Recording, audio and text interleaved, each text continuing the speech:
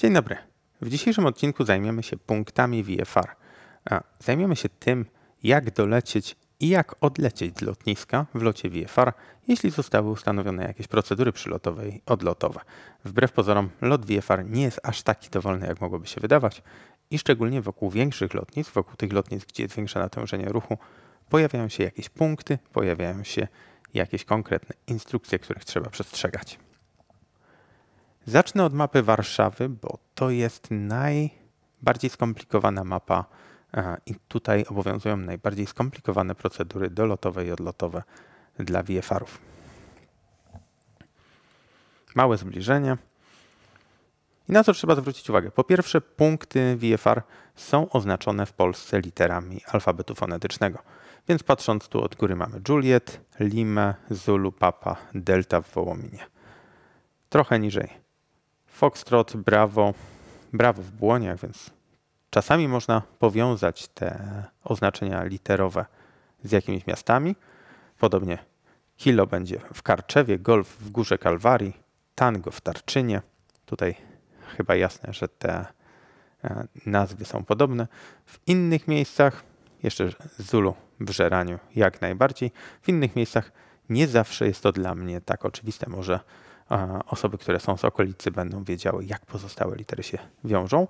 E, podpowiadam to, bo jak już będziecie latali, to czasami patrząc na mapę i widząc te błonie, łatwiej będzie e, domyślić się, że to jest punkt brawo. Między punktami dla tych konkretnych procedur wyrysowano trasy VFR-owe. Nie wszystkie punkty VFR-owe na lotniskach w Polsce, zresztą na świecie jest podobnie, łączą się z konkretnymi trasami. Czasami punkty służą tylko do oczekiwania lub dają kontrolerowi możliwość wskazania pilotowi VFR-a jakiejś konkretnej trasy, którą ma pokonać. Tutaj te trasy opisano, także mamy na przykład połączenie Bravo Foxtrot, połączenie z Bravo do X-Ray, połączenie z Bravo do Alpha i wyjątkowa trasa nad Wisłą z Kilo do November i dalej do Zulu i dalej do Juliet, która jest określona jako trasa jedynie dla samolotów odlatujących albo przylatujących e, na Babice lub na Okęcie.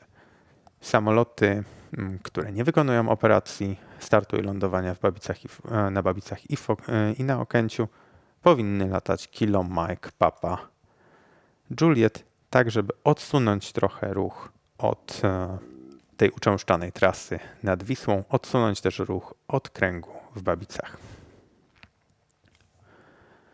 Kolejną informacją, którą, która na takiej mapie jest podana, są punkty oczekiwania. Może być podana, nie musi. Dla punktów w,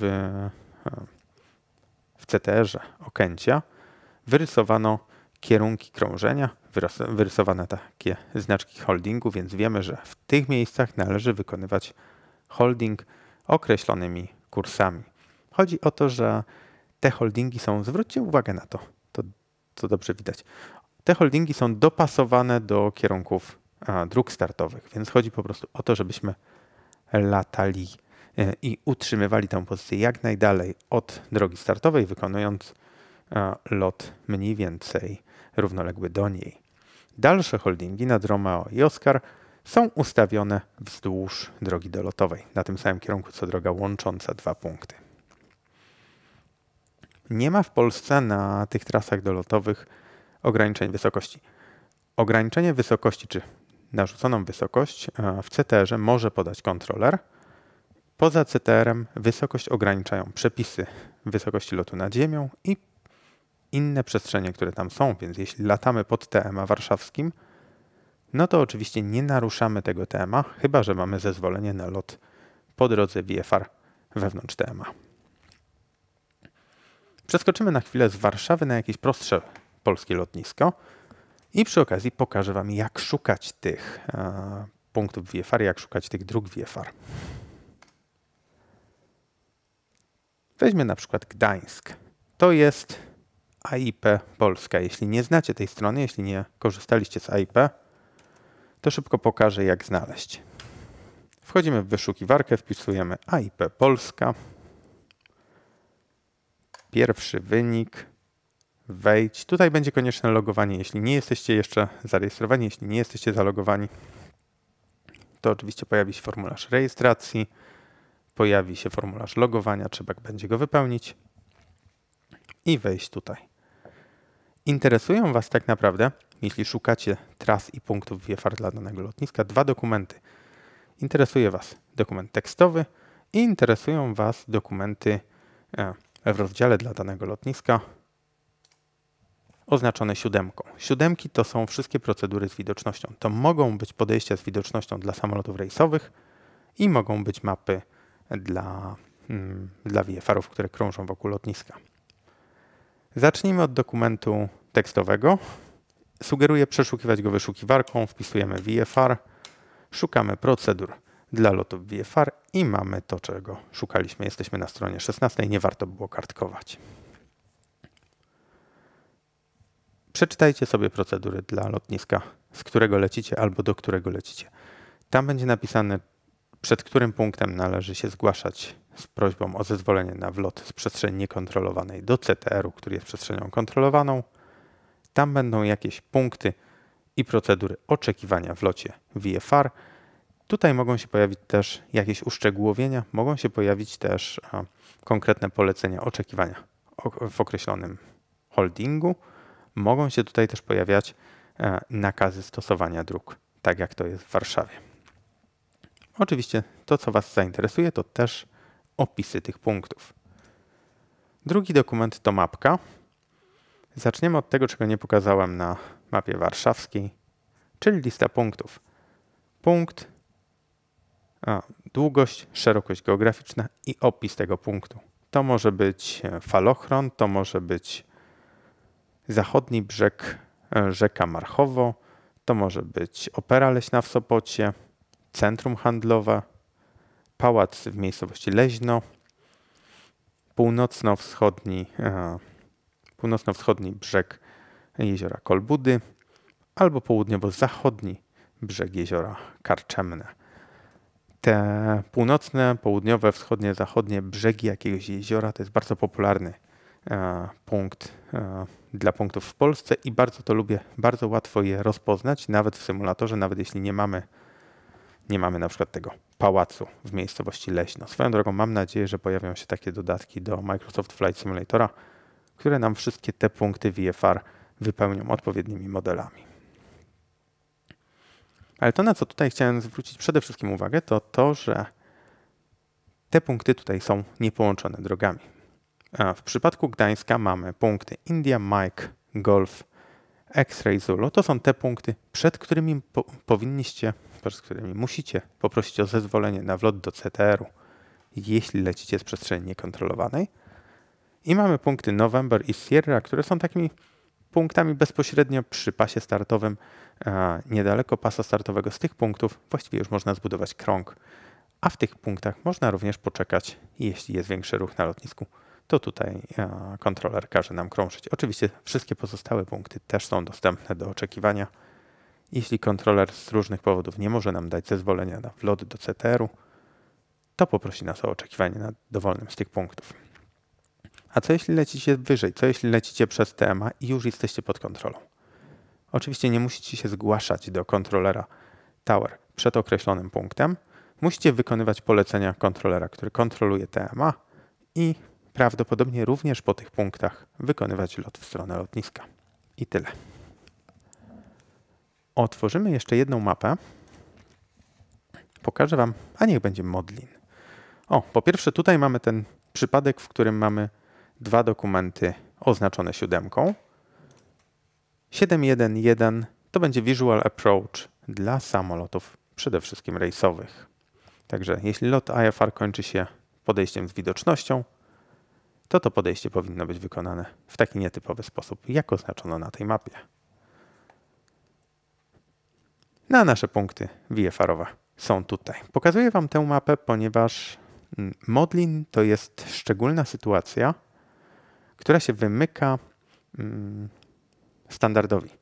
Zwróćcie uwagę, jak pomyślicie o tym Gdańsku, który Wam pokazywałem wcześniej, że punkty VFR są zawsze ustawione poprzecznie do pasa startowego. Mamy pas startowy, który biegnie, dajmy na to wschód-zachód, tak jak większość pasów startowych na lotniskach komunikacyjnych w Polsce.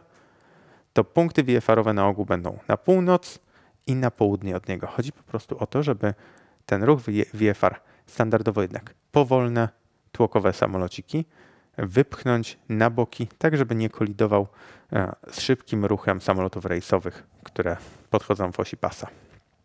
Tutaj jest małe utrudnienie, bo o ile na północ w Modlinie można to bez problemu zrealizować i punkt India jest na północ od pasa, następnie hotel i Yankee i Sierra. To są dwie drogi, którymi możemy wylecieć na północny zachód albo północny wschód. No to na południe mamy gigantyczną strefę Restricted numer 12, czyli Kampinoski Park Narodowy. I tutaj mamy punkt Uniform. Symetrycznie do Indii akurat Uniform jest bardzo łatwy, łatwym do rozpoznania punktem, bo to jest duży most na S7. Ale mamy punkt Uniform, a później ten Victor niemal w osi pasa. Ale zwróćcie uwagę, ten punkt jest tak daleko odsunięty na południe, jak się da. W przypadku Juliet nie ma, nie ma problemu sporo na południe. Mm. Jeśli będziecie odlatywali VFR z e, Modlina, zwracajcie uwagę na to, że ten punkt Wiktor leży prawie na granicy strefy Restricted 12, więc cały ten lot powinien się odbyć przez Uniform, Wiktor i gdzieś tutaj w kierunku Quebec nad Wisłą znów pamiętając, żeby nie naruszyć tej przestrzeni EPR-12. Jeszcze jeden przykład, skoro już przy tym wszystkim jesteśmy z Polski. Niech to będzie. Hmm. Niech to będą Katowice.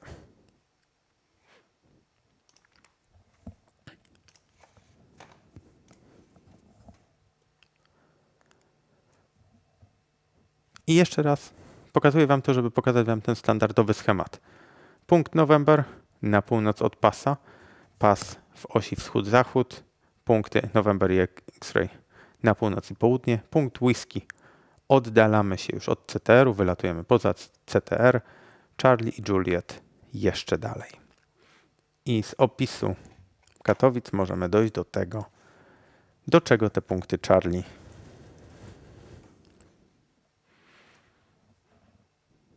i Juliet mogą e, służyć, o ile zostało to w ogóle opisane. W tym wypadku Wykaz punktów. Mamy, to są wszystkie punkty. Gdzie należy się zgłosić? Wlot do przestrzeni kontrolowanej, do loty.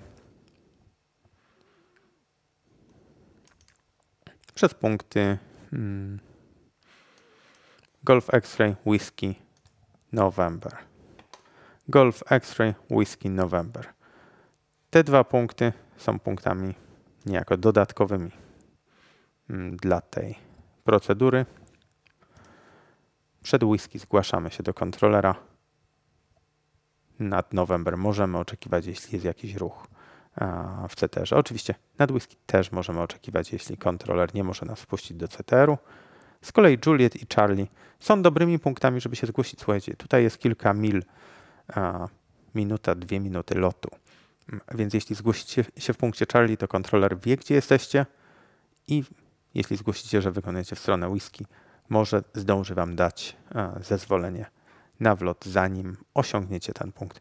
Pamiętajcie, zgłaszajcie się chwilę wcześniej, krótkie zgłoszenie, tak żeby nie zajmować częstotliwości za długo, ale mówiąc, gdzie jesteście, używając tych punktów, które są po to są opublikowane i wykonując tę procedurę dolotową zgodnie z opisem. Zwróćcie też uwagę na to, że Powiedziałem wcześniej, że na niektórych mapkach są zaznaczone trasy dolotowe i odlotowe, na innych tych tras nie ma. To nie zawsze znaczy, że nie ma opublikowanych tras. Tutaj trasa dolotowa i odlotowa przez punkt Whisky November do lotniska, a z południa przez Gulf X-Ray do lotniska jest trasą opisaną w dokumencie tekstowym. Dlatego do tego dokumentu tekstowego warto zaglądać. Tyle Polski. To jak to w takim razie działa za granicą? Przykład Danii. Mapa dla lotniska Billund, e, środkowa Dania, środkowa Jutlandia. Mamy pas startowy w Billund, mamy punkt Karlskow na południe od niego, Give, Zender i Tering. Ja na pewno masakruję wymowę tych słów. Na północny e, zachód, północ i północny wschód. Na południe mamy Wandel, Hejen i For, Forbase. Latanie nad Danią, szczególnie latanie VFR-owe, w którym trzeba się posługiwać tymi nazwami, jest dla mnie lekko stresujące. Kontrolerzy duńscy na Wacim starają się bardzo dokładnie wymawiać te nazwy, jeśli mają do czynienia z obcokrajowcem, więc pod tym względem obsługa jest zawsze bardzo miła. Podobna sytuacja w Rone, czyli na Bornholmie. Mamy CTR wyznaczony linią przerywaną. Jeden punkt VFR hasle, drugi due odde lub jakoś podobnie. tak jak mówiłem, jeśli będziecie latali w Danii, na każdym lotnisku spotkacie te nazwy, których, e, które będzie trudno wymówić. A jak już będziecie przekonani, że jest jakaś fajna, łatwa nazwa, którą wymówicie bez problemu, to się okaże, że tam jest tak samo źle e, jak we wszystkich innych miejscach. I krótka demonstracja, jak to znaleźć e, w przypadku Danii. Możemy zerknąć do IP Denmark albo do VFR Flying Guide Denmark. Zajrzyjmy do IP. AirPart 3 Flip Sender, czyli ta część AD, tak samo jak u nas. AD2 lotniska. Tu mam Billund otwarte, ale weźmy jakieś inne lotnisko, na przykład lotnisko w Olbo.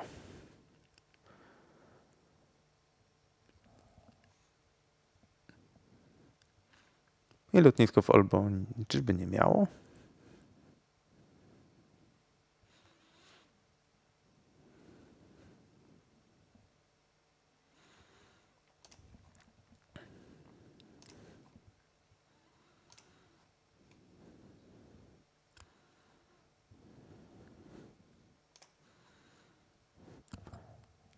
W takim razie zerkamy do AIP, przepraszam, do VFR Flying Guide Denmark, jeśli nie możemy znaleźć e, procedury VFR-owej w zwykłym AIP, co mnie trochę dziwi, bo dla Billund na przykład jest, e, dlatego tutaj zszokowało mnie to, że nie ma, ale VFR Flying Guide znajdujemy e, w przypadku Danii mapę VAC,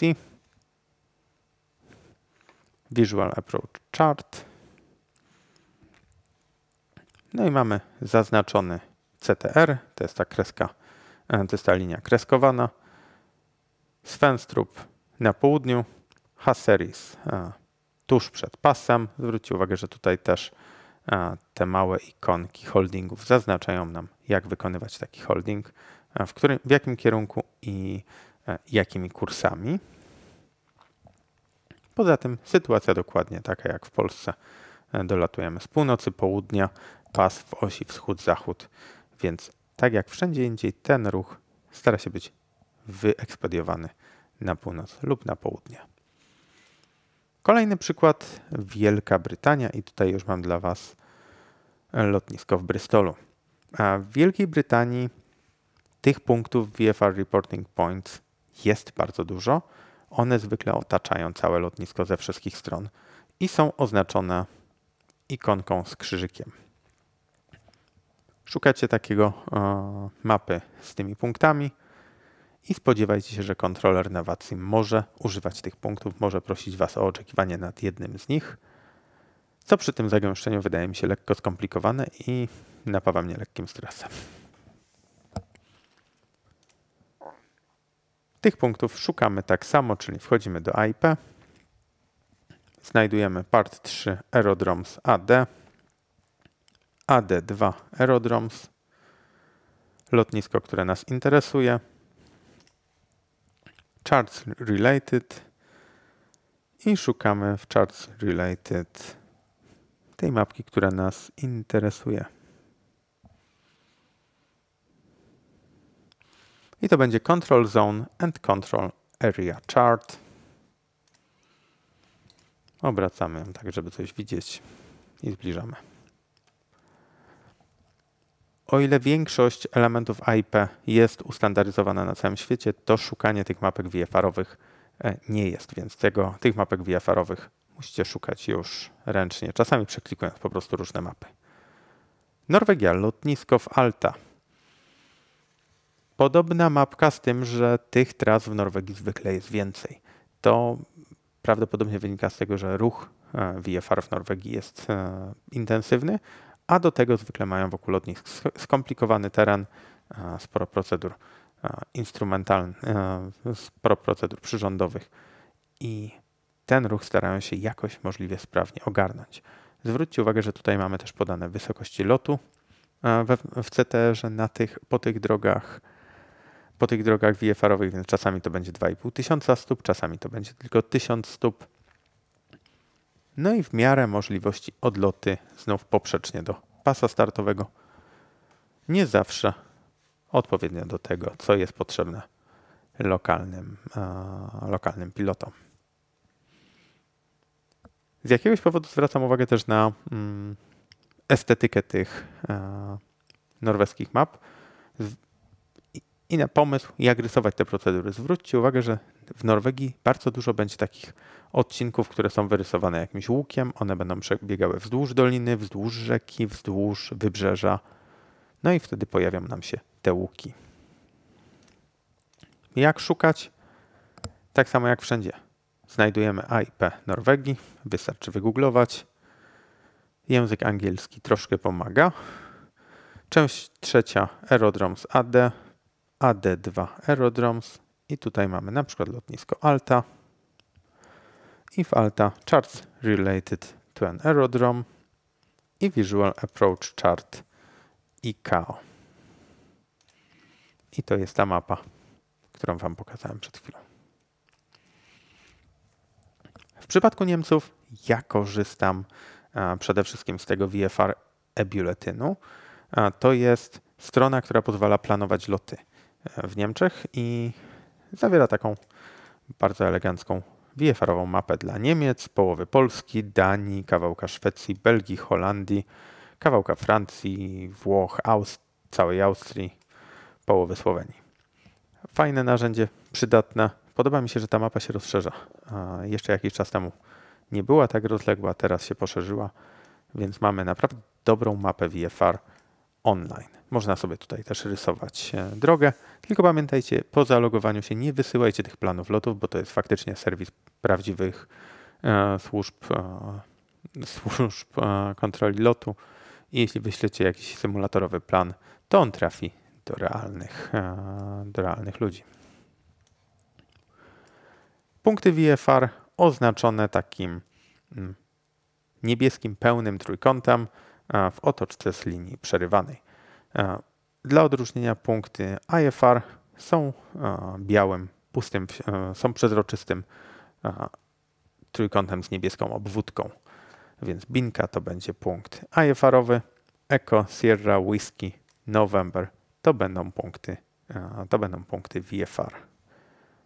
W Niemczech trwa zmienianie tych wszystkich punktów VFR na punkty oznaczone literami alfabetu. O ile jeszcze parę lat temu spotykałem się z tym, że gdzieś tam był punkt nazwany e, jakimś słowem, jakimś nazwem miasteczka, to w tej chwili jest podobnie jak w Polsce. Większość tych punktów to są punkty właśnie NS i tak dalej. Zwróćcie też uwagę na to, to jest wygodna sytuacja w Niemczech. Staram się znaleźć jeszcze jedno lotnisko, które by miało punkty. Zwróćcie uwagę, że punkt Sierra na niemieckim lotnisku to praktycznie zawsze jest punkt na południe od lotniska. Punkt November, North, to będzie punkt na północ od lotniska. Inne punkty już e, tej zasady tak ściśle nie powielają, ale już to e, ten podział North, South, East, West nam pomaga. Eko na wschodzie, whisky na zachodzie, November na północy, Sierra na południu.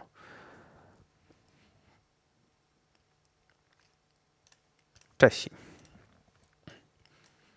Ta sama sytuacja mhm, co w Niemczech. Mamy, punk mamy punkty nazywane literami alfabetu. Mamy jakąś taką zależność geograficzną, zwykle Eko na wschodzie, Whisky na zachodzie, November na północy, Sierra na południu. Punkty wlotowe do CTR-ów, zwykle na zewnątrz CTR-u. Tak samo jak u nas, tak samo jak w Niemczech, tak samo jak w innych krajach. Tutaj Eco Foxtrot Zwykle dwa punkty oczekiwania już bezpośrednio przy lotnisku, takie punkty, z których można zbudować już krąg. No i lotnisko na środku. W przypadku Czech jest też mapka całej przestrzeni, na której sobie możemy wyświetlić te, mm, te punkty. Linki do tych wszystkich serwisów, które pokazuję, będą w opisie filmu, więc możecie do tego zerknąć. A teraz przelecimy jeszcze szybko przestrzeń amerykańską, a potem przejdziemy do planowania lotu i do tego, jak te punkty wpisywać w planie lotu. W przestrzeni amerykańskiej punkty VFR nie są ściśle związane z lotniskiem, są raczej związane mm, z całą przestrzenią powietrzną wokół lotniska i będą to zwykle przestrzenie powietrzne wokół wielkich lotnisk. Jeśli mamy hmm, takie lotnisko jak Seattle, no to tutaj tych punktów VFR-owych będzie dużo. Jeśli mamy mniejsze lotniska, to to będą zwykle punkty w charakterystycznych punktach wybrzeża, czy w charakterystycznych punktach terenu, które pomogą pilotom, pilotom się znaleźć. Za chwilę Wam pokażę taką okolicę. E, jak wyglądają punkty VFR-owe? Na przykład uh. Zwróćcie uwagę, że każdy z tych punktów ma tutaj nazwę, na przykład Moldby, i ma nazwę, która może być wpisana do planu lotu. W przypadku amerykańskich punktów te skróty są zawsze podane, więc prawie zawsze. Więc Moldby, który zgłosimy przez radio jako Moldby, do planu lotu, jeśli będziemy chcieli wpisać, to wpiszemy jako Victor Papa Mike Lima Bravo. Również do GPS-a go możemy wpisać w ten sposób. Lake mm, Samam, Samamish to będzie Victor Papa Lima Sierra Hotel i tak dalej. Palmer, Victor Papa Papa Mike Romeo. Zwykle te skróty nawiązują do nazwy. Niektóre punkty VFR-owe nie będą miały skrótu, to znaczy, że e, nie można ich wpisać od tak w plan lotu, przynajmniej ten w formacie ICAO-skim. Format e, FAA przyjmuje wszystko, więc e, przy formacie FAA nie ma problemu, ale prawdopodobnie nie można ich też odnaleźć w typowym GPS-ie, który ma pełną bazę punktów. Jeśli chodzi o GPS-y w symulatorach takich jak X-Plane, Prepared czy Microsoft Flight Simulator, to na ogół tych punktów brakuje, więc na ogół e, nawet z Navigrafem możecie mieć problemy ze znalezieniem e, tych punktów. Pamiętam, że w paru lotach nie mogłem akurat tych punktów, które mi były potrzebne, znaleźć. Poza, e, poza tą sytuacją skomplikowanej przestrzeni, bo tutaj jesteśmy w Seattle, duża przestrzeń klasy B. Głównie chodzi o to, żeby skanalizować ten ruch tak, żeby nie wchodził w kolizję z rejsami z Seattle, Tacoma czy z tych pozostałych lotnisk, takich jak Payne czy lotnisko Boeinga, które tutaj się znajduje. Mm. Punkty VFR-owe znajdziemy też w takich okolicach, w których loty mogą być bardziej skomplikowane. Weźmy na przykład Juno, na Alasce. I zwróćcie uwagę, że tutaj wzdłuż tych wszystkich kanałów są rozpisane punkty VFR-owe, więc jeśli ktoś przelatuje koło tego cypla, może zgłosić uh, job point, kolejny cypel point Bishop, kolejny mm, cypel, w zasadzie maleńka wysepka Marmion Island. I w ten sposób w komunikacji i E, z kontrolerami i w komunikacji, przede wszystkim w komunikacji na CTAF z innymi pilotami, którzy, którzy latają VFR, może nazywać to miejsce, w którym się znajduje. E, wygodne, na VATSIM średnio użyteczne, bo zwykle takiego ruchu, żeby trzeba było te, mm, te miejsca innym pilotom podawać, to takiego ruchu akurat nie ma. Ok, a wróćmy do tej Polski. No i co zrobić, po pierwsze, jak sobie te punkty wygodnie znajdować, a po drugie, jak je wpisywać do planu lotu. Zacznijmy od e, serwisu Lecimy Bewilczek EU. To jest serwis, który pozwala zaplanować lot VFR, IFR, ale przede wszystkim VFR nad Polską. Mamy tutaj e, ikonki lotnisk, mamy tutaj wyrysowane przestrzenie powietrzne, mamy tutaj, i to jest bardzo pomocne, E, również strefy, które są zajęte, to może być, możemy je wyłączyć, możemy e, wyświetlić wszystkie możliwe przestrzenie, możemy wyświetlić AUP na dziś, w godzinach 17 do 21. Zwróćcie uwagę, że jak to rozciągnę, to nam się pojawią dodatkowe przestrzenie. Możemy też AUP na jutro, czyli te przestrzenie, które są zarezerwowane na dzień jutrzejszy.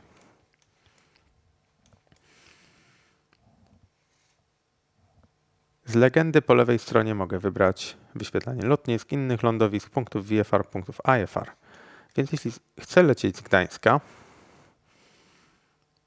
to wyszukując te ikonki punktów VFR-owych, mogę je od razu dodawać. Zwróćcie uwagę, że dodałem November, dodałem Mike. I oczywiście to się nie ogranicza do lotnisk komunikacyjnych. Tutaj mam Ekopapa Oscar Kilo, czyli port lotniczy Gdynia-Kossakowo, baza wojskowa na Oksywiu, hotel, to są też punkty tego właśnie wojskowego lotniska. Możecie używać też punktów lotnisk wojskowych. Zresztą te punkty w Polsce nie ograniczają się tylko do dużych portów lotniczych i lotnisk wojskowych. Coraz więcej lotnisk aeroklubowych też ma swoje punkty VFR. E, Babice tutaj będą tym najbardziej oczywistym, najczęściej e, odwiedzanym, ale zaraz, zaraz, kto ma? O właśnie. Od razu Wam pokażę, jak sprawdzić e, punkty lotnisk VFR-owych. AIP VFR. Wyszukujemy to w Google. Wchodzimy do AIP VFR. Wejdź oczywiście. Ja, żeby to pokazać sobie, nawet zostawiłem lotnisko w Krośnie.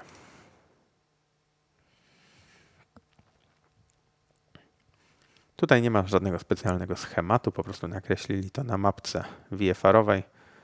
Mamy punkt Kilo, Hotel, Bravo, India. Cztery charakterystyczne punkty wlotowe i wylotowe e, do tego ATZ-u wokół Krosna. Można je jakoś e, rozpoznać jeśli mamy wątpliwości, co to są za punkty, a na mapce w tym wypadku nie są rozpisane, to oczywiście wchodzimy w opis tekstowy. Tu można przewinąć, bo ten opis tekstowy będzie krótszy. Punkt brawo to skrzyżowanie dróg w miejscowości Bajdy, Kilo, skrzyżowanie w Kopytowej, India, skrzyżowanie w Iwoniczu, a hotel, kościół w miejscowości Haczów. E, mówiłem Wam wcześniej o tych konwencjach nazewniczych. nazewniczych. E, Niemcy mają konsekwentnie to November na północy, Sierra na południu, Eko na wschodzie, Whisky na zachodzie. W Polsce dominuje nazywanie właśnie od nazw miejscowości. Miejscowość Bajdy to będzie Brawo, Kopytowa Kilo, Iwonicz India i tak dalej. I to się będzie często potwierdzało. Więc możecie też spojrzeć potem na mapkę. Haczów Hotel, Kopytowa Kilo, Iwonicz, India, Brawo.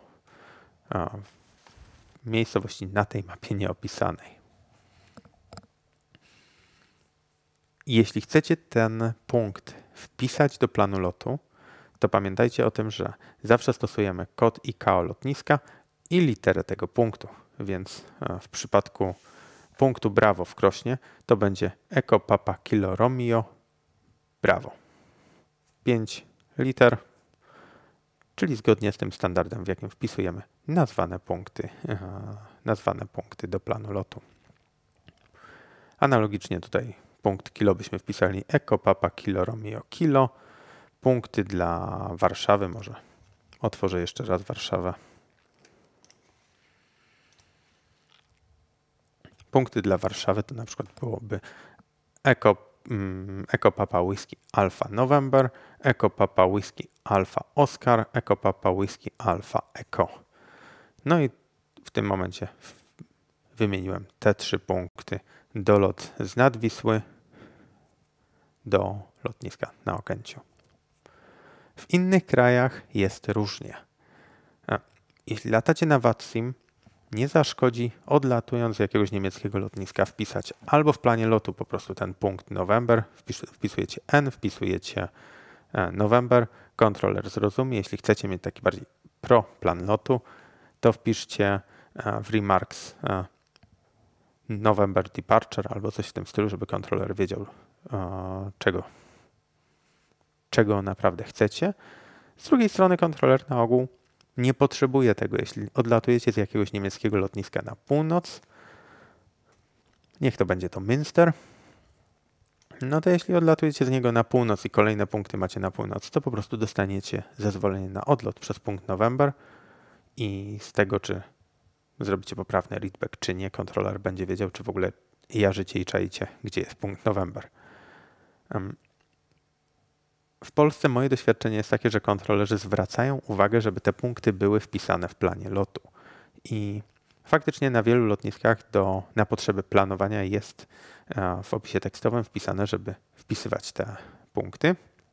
To je wpisujemy. Jeśli gdzieś e, w IP tekstowym nie jest wpisane, że trzeba koniecznie wykonywać lot przez te punkty, to sytuacja jest bardziej skomplikowana. Nie, nie chcę Wam doradzać, żebyście nie wpisywali tych punktów w jakiejś sytuacji, a potem się spierali z kontrolerem, bo to nie ma sensu. Pamiętajcie, zawsze lepiej wpisać e, dodatkowe punkty, zawsze lepiej tą trasę opisać dokładniej, tak żeby kontroler miał z Waszego planu lotu ten sygnał, że tak, ten gość czy ta dziewczyna wie, jaką trasą odlecieć z tego lotniska i widząc te punkty, przynajmniej wie, że macie na tyle pojęcia, że wiecie, gdzie znaleźć odpowiednie punkty, jeśli oczywiście one będą odpowiednio wpisane. Jeśli tych punktów nie macie, no to zawsze jest to pytanie, czy ta osoba, którą kontroler obsługuje, w ogóle wie, że są jakieś punkty i że trzeba po nich polecieć. Z drugiej strony, i na to chciałbym zwrócić uwagę wszystkim, również oglądającym kontrolerom, jeśli mamy takie lotnisko jak na przykład ten przepiękny Szczecin, lotnisko w Goleniowie. Mm. Kiedyś pytałem pilotów, którzy tam latali i wszyscy mówili, że zawsze odlatywali na wprost. Że z tych punktów nie korzystali prawie nigdy, bo latali gdzieś na północ albo latali gdzieś na południe. I pamiętajmy wszyscy, że te punkty mają określony sens i znaczenie. Te punkty mają pozwolić sprawnie odseparować ruch e, VFR od ruchu IFR, który podchodzi do lądowania, który startuje. Jeśli mamy Szczecin z typowym, takim nawet realnym ruchem w Szczecinie, to wysyłanie samolotu, który chce dolecieć do Kamienia Pomorskiego przez Nowogard, to jest nadkładanie 15% trasy. I kręcenie jakichś kółek wokół lotniska, które nie ma żadnego uzasadnienia, więc w takich sytuacjach dobrze mieć te punkty w planie lotu, ale może warto, jeśli dostaniecie zezwolenie na pustym lotnisku, odlot do Kamienia Pomorskiego przez e, Ekopapa e, Sierra Charlie Romeo, to może warto poprosić o bezpośredni odlot w kierunku, w którym chcecie polecieć. To się przydaje i kontrolerzy e, dają takie zezwolenia. Pamiętam, że ze Szczecina nie raz i nie dwa odlatywałem prosto na północ, latałem na Bornholm na przykład wracając do Szczecina też dostawałem zezwolenia. Albo od razu, prze, no albo leciałem po prostu przez ten e, Nowogard, przez punkt Romeo, albo dostawałem e, zezwolenie lotu gdzieś na przedłużoną e, prostą pasa. Więc to jest wszystko, jeśli już mówimy o VATSIM. Czy mówimy o jakimś realnym lataniu, to jest wszystko raczej kwestia sensownego prowadzenia e, tej komunikacji i sensownego dogadania się z kontrolerem w kontekście tego, którędy chcemy lecieć. Ale do samego planowania lotu pamiętajcie, że macie to, ten formuł, tą formę Eco Papa Golf Delta Mike, czyli EPGDM i to będzie nazwa punktu, którym, który możecie zadeklarować w planie lotu.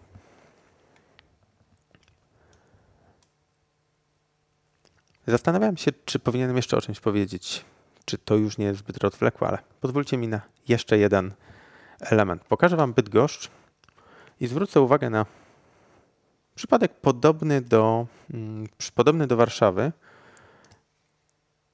ale trochę inny. Mamy Bydgoszcz i mamy tutaj charakterystyczne mm, trasy. To jest dobry przykład tego, że trasy VFR-owe będziemy mieli często poprowadzone w taki sposób, żeby latać bezpiecznie. Właśnie te doloty do Bydgoszczy, jeśli popatrzycie na Bydgoszcz na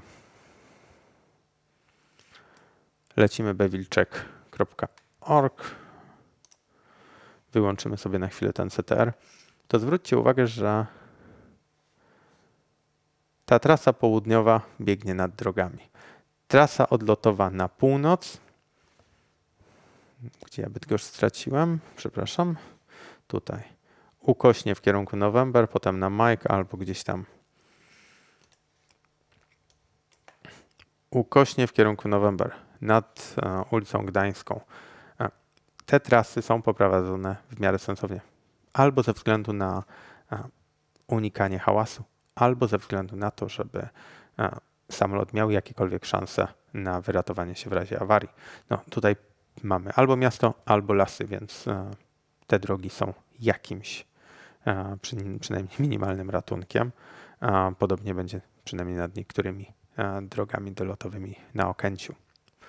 Więc myśląc o tych trasach VFR, nie myślcie o tym tylko jako o takiej uciążliwości, którą ktoś was chce poprowadzić, albo którą kontroler na VATSIM wam narzuca, a wy byście chcieli tak na wprost. Ten odlot może mieć po prostu sens. Dobra, ponieważ ja już tracę głos, to będę kończył na dzisiaj.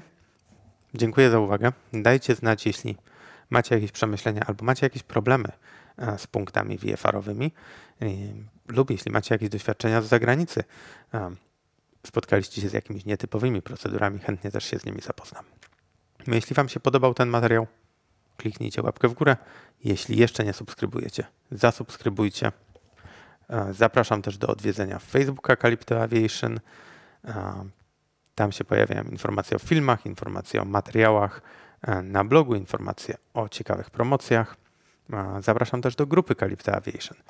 W grupie Calypto Aviation coraz więcej osób dyskutuje, coraz więcej osób zadaje ciekawe pytania, podrzuca ciekawe informacje lub mm, stara się odpowiadać tym, którzy zadali pytania i mają co do czegoś wątpliwości. Jeśli chcecie oglądać więcej takich materiałów, jeśli chcecie mm, upewnić się, że będę miał czas je robić, możecie wesprzeć kanał. Linki do PayPala są też w opisie do tego filmu. Ja dziękuję za uwagę. Do usłyszenia. Do zobaczenia jutro. Cześć.